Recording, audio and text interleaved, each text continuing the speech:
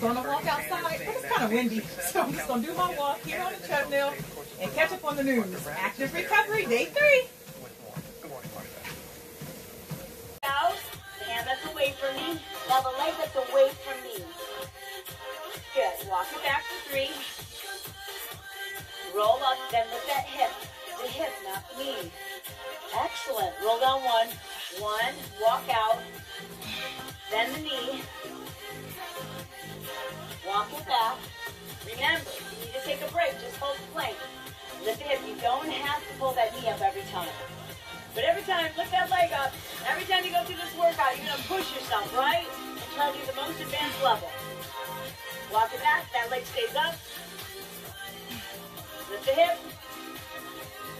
Yeah, one more with that leg lifted. It's fold. Walk, walk, walk, lift. Strong cores. Walk it back.